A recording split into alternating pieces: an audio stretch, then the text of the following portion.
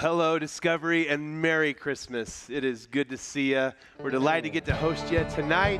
I'm going to invite you to stand. We're going to start this party tonight the same way heaven started it 2,000 years ago. We're going to start with singing. There's a hope that's dawned on the horizon.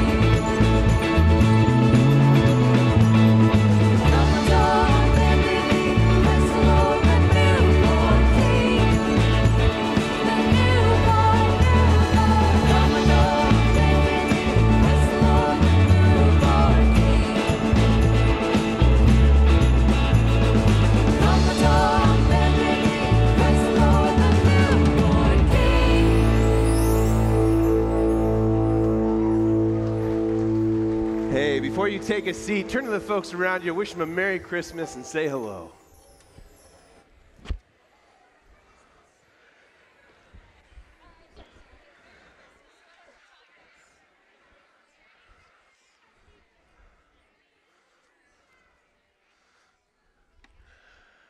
There's just something good about singing this time of year. It just feels right. I, I, think if you're like me, part of that just comes from the fact that I grew up singing these songs, or, or at least culturally, these are songs that we hear this time of year. And, and especially this year, our family got to really have some fun with Christmas carols. Our youngest, Oaks, had a Christmas pageant that they put on at his preschool, and y'all, it was it was awesome. uh, the, at one point, my son Deacon is sitting next to me, and he's cracking up, and we're talking back and forth about who's your favorite kid on stage right now because they were there's just so many characters. My favorite was this little girl. She had on this white dress with roses all over it, like curly Q hair, and just like she's just a she's awesome. Like she's just just loving that she's singing, but they all have to wear masks. And so these kids are trying to sing through these masks, but you can tell that she's one that she's like, I will not be hindered by said mask. And she is screaming through her mask. And this whole time, I'm just fixated on her because she's just, she is so entertaining.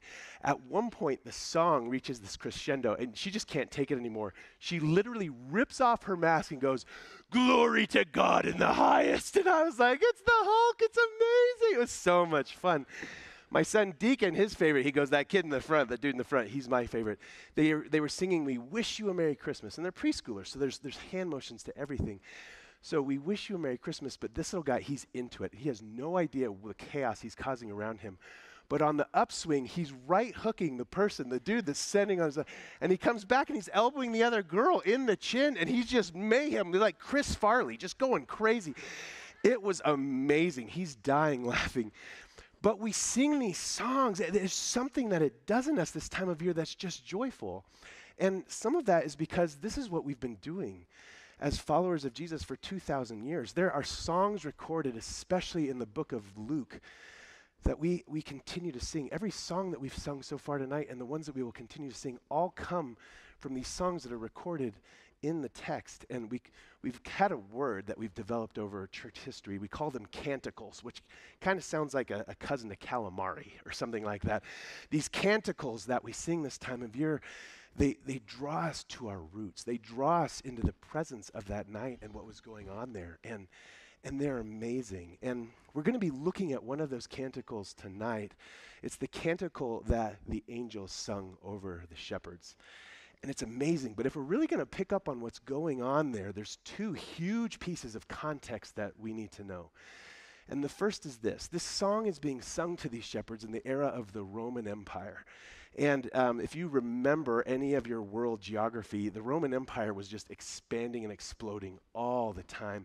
And when they would win a war, they would send messengers in two directions. The first messenger and some of the army would cruise back to Rome, and in a parade, the messenger would come to Caesar, the king, and they would say, Euangelizo. That was the Greek word that meant we have good news. Euangelizo, the battle has been won. That's what that word would mean in that context. And the army would march through, it was a parade. It was a parade saying the victory has been won. It, it, was amazing. But then they would send another messenger in the other direction. And, and if you remember the idea of Pax Romana, the peace of Rome, Rome was really full of themselves. And so they would literally send another messenger around to all the villages around the village they just took over to say, Hey, Euangelizo, good news. We just beat up your neighbors and you're next. Isn't that great? You know? Rome, they're mean. But that idea, this, this euangelizo at, at its guts, what it meant was a, a king has won a victory. A battle's been won, and a new kingdom now has authority in this place. Well, it was amazing what that word means. The other thing that we need to know is that for these shepherds, we're going to be hearing about a king in just a minute. And these shepherds likely had two very personal experiences with kings in their own lifetime. The first was a king by the name of Antigonus. And Antigonus would be to these guys as George Washington is to us as Americans. Antigonus was the one when Rome had invaded. Uh, Antigonus was the one that they said, you, You're going to lead the armies, we're going to kick these guys out, and we're going to take back our country. And Antigonus did that. he was hailed. He tried to restore Israel and the Jewish nation to what everybody thought it was supposed to be. And it was awesome for three years. And then the Roman Empire came back in and they massacred him. And they massacred everybody that was with him and they massacred everything that he had accomplished. To these shepherds who are sitting and about to hear this song from these angels, when they hear the word king, one of the things that conjures up in their mind is well, yeah, we've had good kings before, but can good kings stand in a world that is so dark and evil? Because we had one once, and he didn't make it.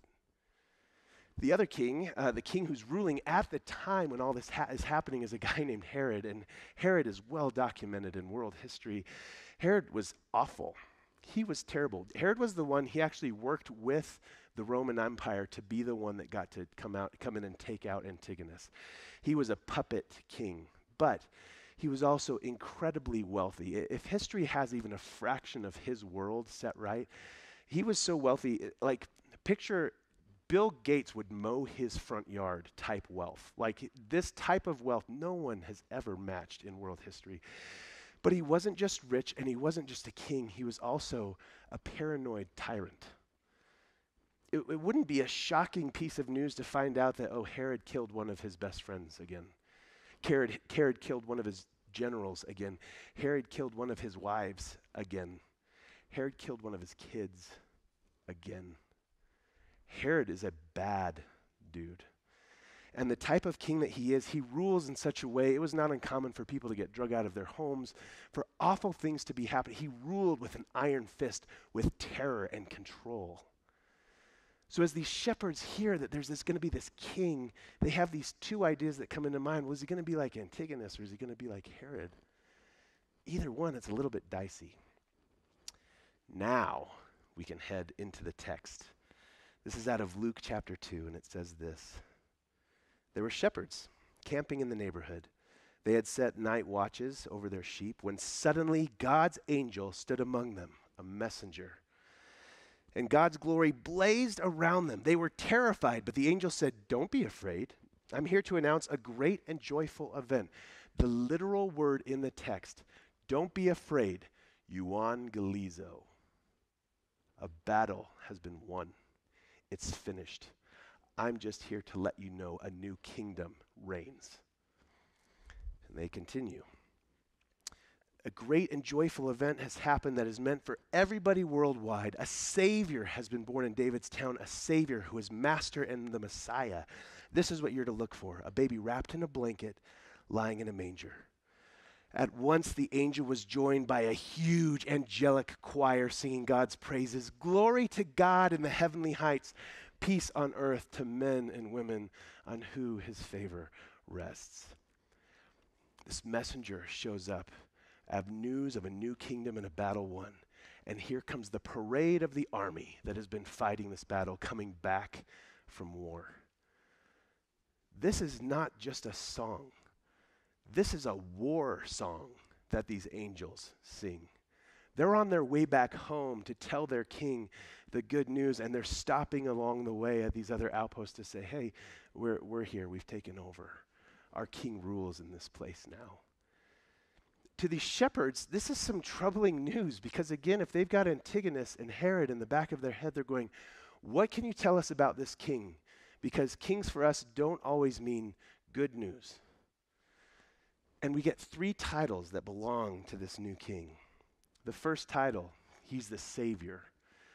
That might hit our ears as like, oh, that's, that's great. But to these guys, Savior was a term that was used for Caesar all the time to them, that's a tick in the wrong direction. That we have a new king, a battle's been won. Okay, great. Who is it? It sounds an awful lot like the old guy. The second term that's given is master or lord, depending on your translation, which again was another title given to Caesar or to people who were ruling at the time. It's just more of the same. We've, we've seen this before.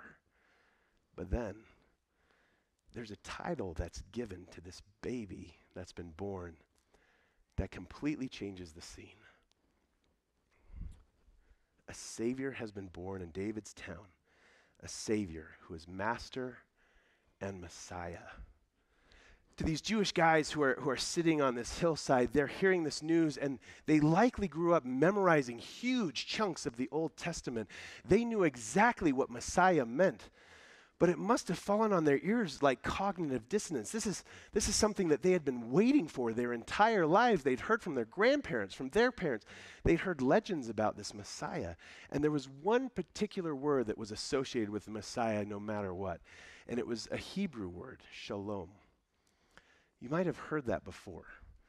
Shalom is a word that generally refers to peace, but it can also refer to harmony or wholeness, completeness, prosperity, welfare, tranquility. The Messiah was going to bring the world right. He was going to set things back to the way that they were supposed to be.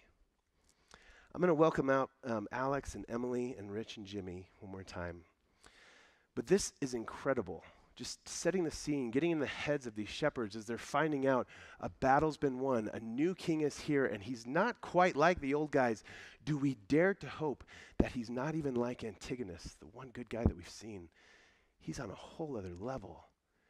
Do we dare to believe that maybe the king has finally come who can take everything that's broken and dark and shadowy in the world and he can fix it? He can bring shalom? Can we believe this?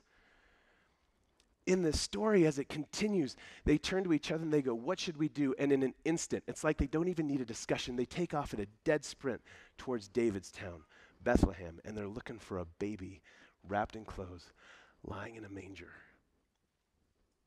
I think if you have this picture in your head, if you've been looking at some of this artwork, maybe you can begin to piece together heaven has just finished a battle. The army is trooping back off to heaven. And what's been left at the scene of the war? The weapon of heaven is there. But where Antigonus would rule with rebellion, where Herod would rule with control and tyranny, this new kingdom, the weapon that's been laid down, is something they've never seen anything like before. What was laid down was love from heaven. His name is Jesus. Go ahead and give the song a listen.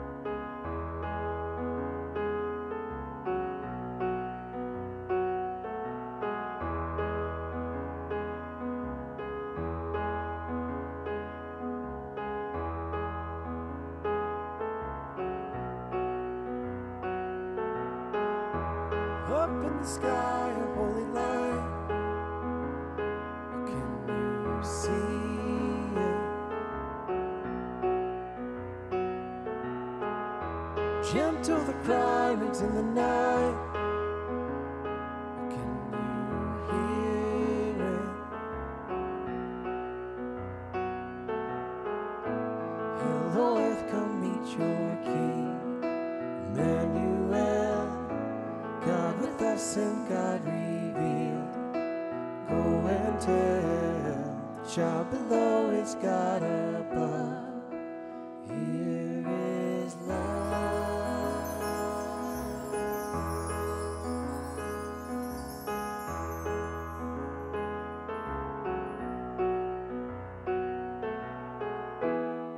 With the sighs of lonely cries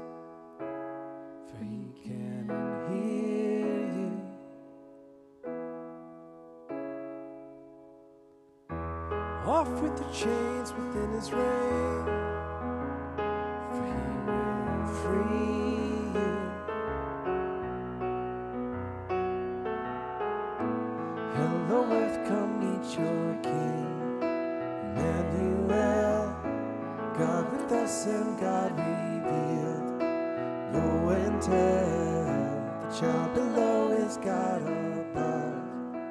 Here is love.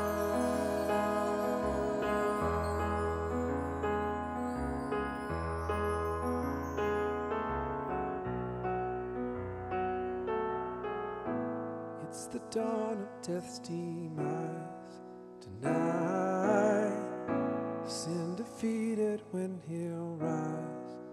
time.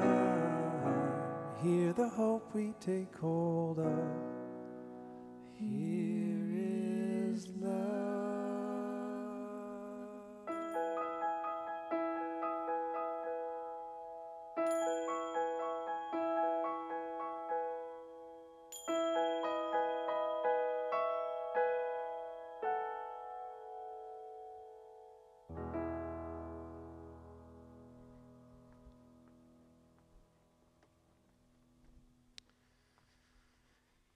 Kings still vie for our worship today.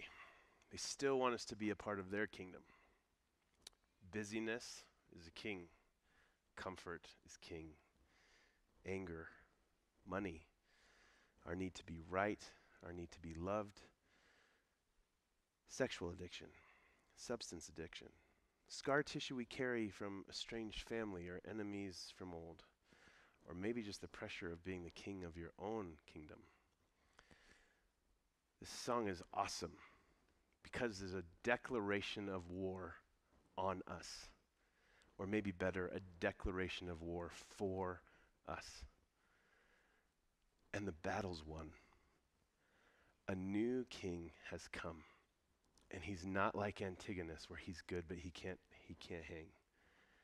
And he's not like Herod where he's evil and oppressive. This is a king that's unlike anything we've ever seen before, and we celebrate it with a song.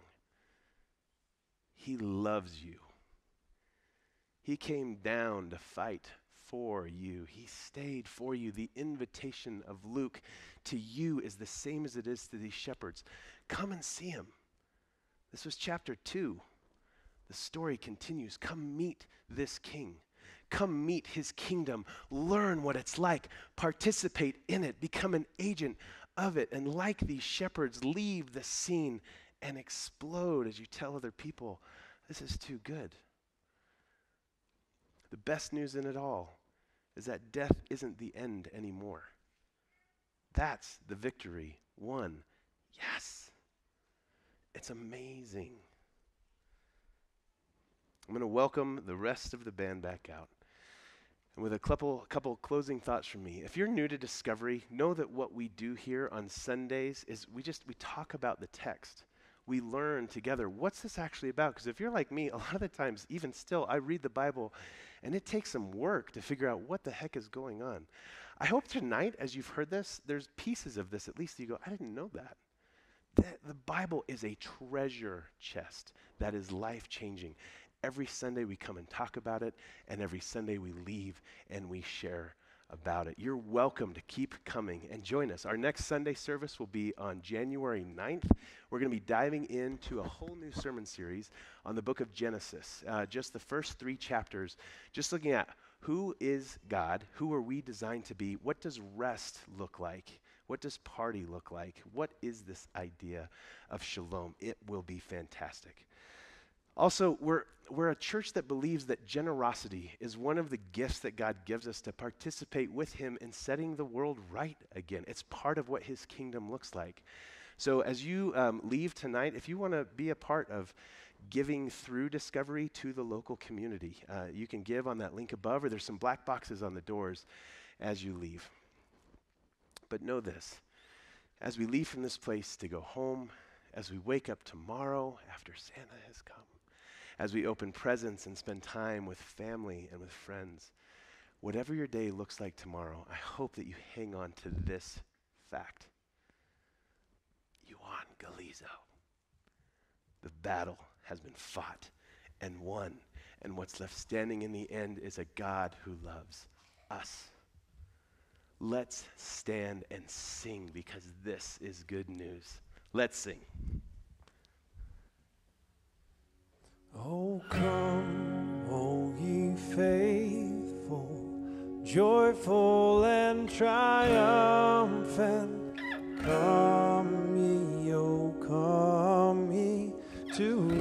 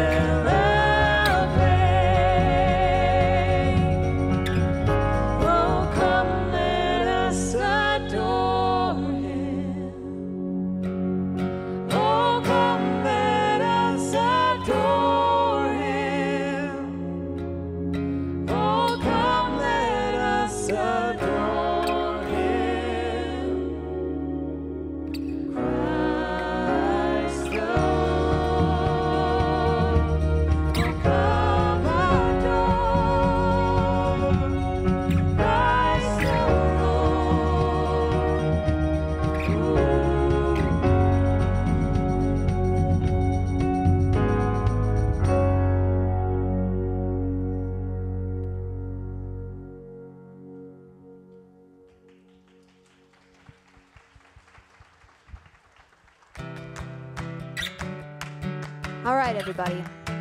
This is the last song of our Christmas Eve services, minus Midnight Mass, which you can still come to because it's different. But here's the deal this is your last chance. If you came here to party because Jesus is born, now's the time. Um, you can clap, you can dance, you can raise your hands, you can really do what you want. Um, but this is your chance. And I believe that this is worth celebrating. So here we go. Let's sing. First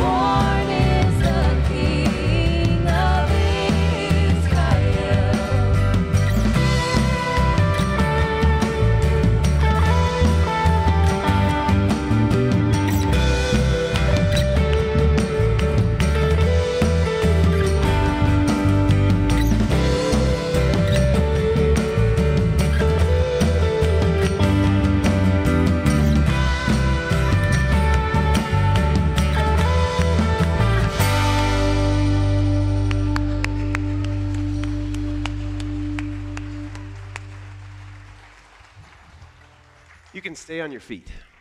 Um, Euangelizo, battle's won. The king's here, his kingdom's come.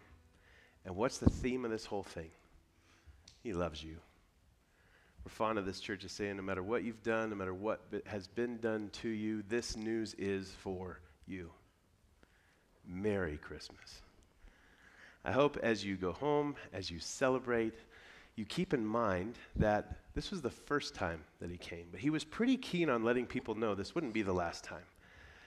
I hope that that motivates you and excites you. I hope that it thrills you to know him, to know what his kingdom is like, to not just leave his story buried in Luke 2, but like these shepherds, to go running to him and learn from him and become like him.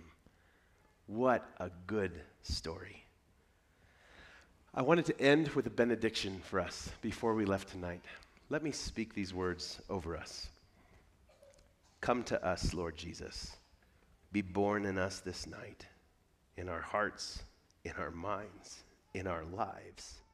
May the light of your life be kindled in us and lead us to the shining truth of God with us, God for us, and God in us. Amen. Merry Christmas, Discovery Church. We'll see you back on January 9th.